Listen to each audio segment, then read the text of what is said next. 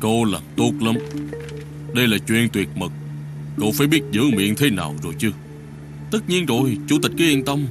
Tôi nhất định sẽ mang theo chuyện này xuống mồ. Với lại, Từ giờ tôi đã là thuộc hạ của chủ tịch rồi. Nếu chủ tịch cần gì, Cứ việc nói với tôi.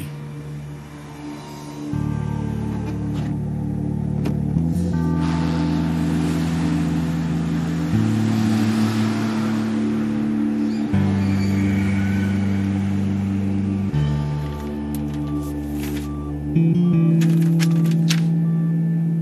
Ông nghĩ là có thể khống chế được tôi hay sao?